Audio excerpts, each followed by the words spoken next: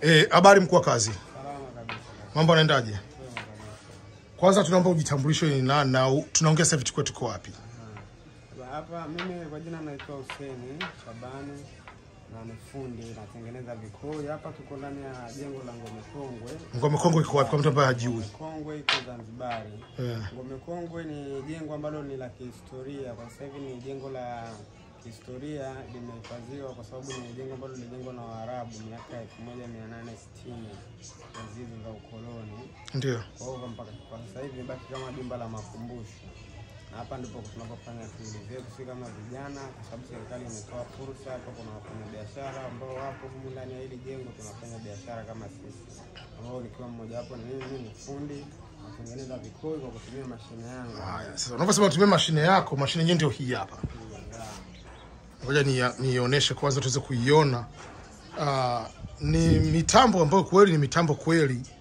Ukija kuangalia kama ni hizi hizi ni nyuzi, si ndio hivyo? Ambazo zikishatengenezwa ndio natua vikoi hivi hapa, si ndio hivyo hapa? Okay. Uh, na wewe kama wewe uh, ulijifunzia wapi utaalamu? Huyu nilifundisha kakaangu. Eh, Kakaangu Kaka yangu yeye alisomea VETA Tabora. Tabora. Tabora bara huko.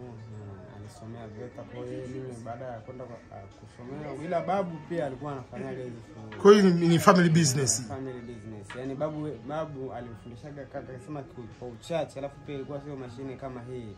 Kwa hiyo kaka baada ya kupata ile idea kwa babu akaenda Yeah. akakusomea VETA. Okay. Baada kusomea VETA ndo akajikuta anapata idea za kutengeneza mashine kama hii ambayo ni kubwa ambayo itatengeneza mwenyewe kaka. Okay. Yeah, na ndo mimi ndo mwalimu wangu aliyenifundisha. Unaweza kuendeleza hapo tuone unavyofanya. Yeah, kabisa. Yeah, nafanya production. Okay. Yeah, sasa mashine hii inaitwa loom kwanza, jina lake wanaita loom kwa jina la Kiingereza, ila kwa Kiswahili inaitwa mashine ya useketaji. Mm. Useketaji ni kitendo cha kubadili nyuzi kama hizi kuwa kitambaa, yaani hii ndio useketaji. Yeah.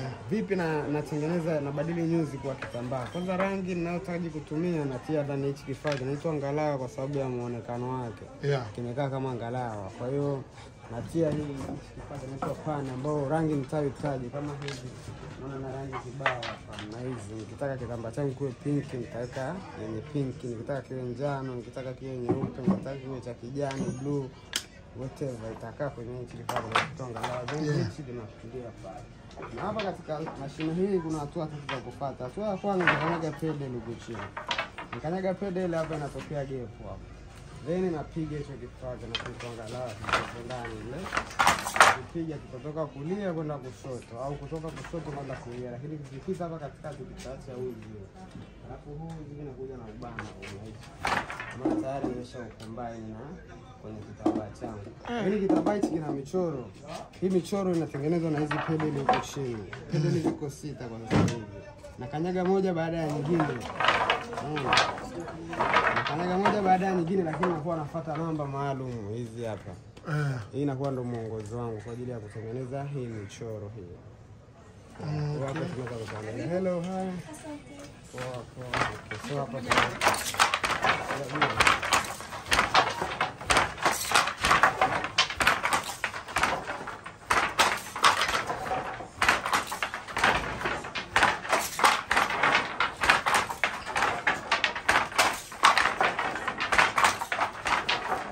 miguu yangu huko chini na tena Lakini miguu inabadilika namba, sio kwamba inabadilika tu sikanyage tu. Kama ni namba namba moja.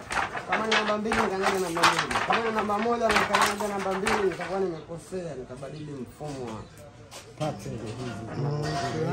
jinsi inavyoenda. Endapo ni namba moja nikanyaga namba mbili au endapo ni namba mbili nikanyaga namba tatu basi nitakuwa nimekosea, itabidi nitoe ule uzi nilioshona kama hivi. Ah. ni utoe, kwa sababu hapa tayari mchoro utakuwa umebadilika, sababu hizi hizi hizi pedal chini ninapozikanyaga kuna frame pale zinanyanyuka. Umeona hizi frame zinanyanyuka, zinakuwa zinaenda mbili zinapanda juu, mbili zinashuka chini, lakini zinaenda kwa utofauti. Ziko frame nne pale, na hizi frame zina sindano au waya zina kama waya hizi ambazo ndo zinabeba hizi nyuzi. Sasa hizi nyuzi Yeah. zetu, idadi ya nyuzi hapa kwanza ziko nyuzi elfu mbili na mia nane elfu mbili mia nane sasa hivi yani. Idadi ya nyuzi ziko elfu mbili mia nane. Idadi ya nyuzi inategemea na ukubwa wa kitambaa. Kama kitambaa ni kikubwa, ina maana nyuzi zinakuwa nyingi. yeah. Kama kitambaa ni kidogo, kitambaa kina nyuzi zinakuwa chache. Sasa hapa kuna kwenye hizi fremu tumepitisha uzi mmoja baada ya mwingine kwenye sindano. Kila uzi unapita kwenye sindano yake, umeelewa? Kama huu hapa unauona huu ndo namba moja, umepita kwenye frame hii namba namba moja katika sindano ya kwanza. Uzi namba mbili utapita kwenye frame namba mbili kwenye sindano ya, ya kwanza ya frame namba mbili. Umeona eh? Uzi na hivyo hivyo, yani zitakuwa zinaenda zinapangana hivyo hivyo. mm, okay. Yeah, kwa hiyo zinapoenda zile frame, hizi frame zinaponyanyuka kwenda juu na chini zina zinapishana, lakini hapa katikati ndo zinatengeneza zinapata zinapatikana hili gap hili, kwa sababu kuna hizi frame mbili ziko Yeah. maana ziko na hizi nyuzi zake zinakuwa juu, frame zilizoko chini zinakuwa chini. Kile kifaa kinapopita katikati kinapouacha huu uzi huu, ndio hii michoro hii. na hapa tunaona kuna hichi umeshakitengeneza hiyo hapo Yeah, yeah. kwa hiyo umetumia muda muda gani masaa manne kitambaa chenye kama huu, masaa manne mpaka masaa matano natengeneza mita mbili. Mm, okay. Inategemea tu na pattern. Kuna pattern nyingine ambazo ni rahisi, kuna pattern nyingine ngumu. Mm, Mm, pattern rahisi masaa manne, pattern ngumu masaa matano. Mm, okay. Baada ya kutengeneza kitambaa kama hichi, ndo tunaanza tunakata tunakata vipande, tunatengeneza suruali, magauni. ndio mtu anakuja kununua kama hivi hapa sasa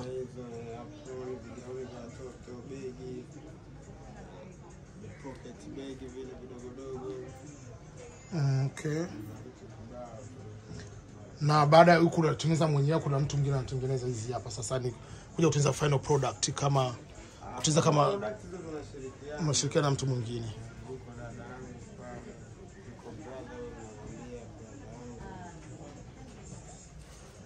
Okay. binafsi mnapenda nikupe tu ongea, kwa sababu yeye kwanza unahitaji kwenda gym si ndio hivyo sababu hapo ni kama vile treadmill nani elliptical machine unavyobonyeza bonyeza hivyo. Ndio hapo kitambi kinaondoka kabisa hapa. Ndio maana iko fit jamaa hapa. Hongera sana mkuu. Karibu sana yeah. Kwa huu ni mwaka ngapi unafanya hii? Mimi hapa sasa mwaka wa nne mwaka wa nne. Okay. Na sasa kawaida hii hapa mashine ulitengeneza mwenyewe au ni kwamba au blako ulitengeneza au kuna mtu anatengeneza mnainunua. Kaka Yaani yako? kaka yangu ameenda kwa fundi. Maana mafundi hawana idea hii kampuni. Eh. Fundi carpenter huwezi mkuta mwenye fundi carpenter anaijua hii kampuni. Labda aliyewahi kutengeneza yeah. Kwa hiyo kaka yangu yeye alienda na vipimo anampa bana, anataka mbao hapa, kata hivi hivi, akampa ramani fundi. Kwamba fundi kazi yake ni kuchonga, lakini anachonga kile anachoelekezwa.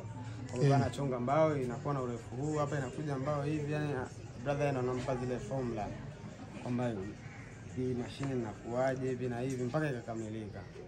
okay Hongera hmm. sana mkuu na biashara ina- ina- inaendaje lakini hapa wateja wanakuja au yeah, yeah. Biashara tunashukuru kwa sababu kwanza kitu chetu chenyewe kiko unique. Mm. Kwa hiyo kinavutia kwanza mteja mwenyewe. Kwa hiyo tunashukuru kuhusu biashara, Simba, kama wanakuja wanatoa support, wageni, wazawa wote, yani hamna ambaye anafika hapa na akaacha ku. Kama anakuwa na riziki na alikuwa na support, labda tu mtu hana keshi ndio. ah, swala la kizushi umevaa kofia ya kirastafarian Yeah. na hapa zanzibar kuna samaki sana samaki zinahesabika na zenyewe kwenye upande wa rastafarian au wewe unakula na zenyewe Ah, samaki mimi nakula. samaki mimi na msosi wangu. Ana hapa yenyewe nimetoka kupigia breakfast nimekula na fish. Okay. Pande fresh. hamna tatizo Ya, bwana, hii hapa ni very impressed bwana yani hii ukija kuangalia yani tunaona tunaona hizi product mwishoni ila hatujui kwamba inatumika kazi kiasi gani yani kwamba wanavyotumia hizi nani zote hizi yani kwamba news unavyozifanya hizi hapa. Ya kwa kweli. Hongera sana mkuu. Ya tunahitaji vijana wengi kuwa wanapiga hizi dili za namna hii hapa. Ya. Poa poa mkuu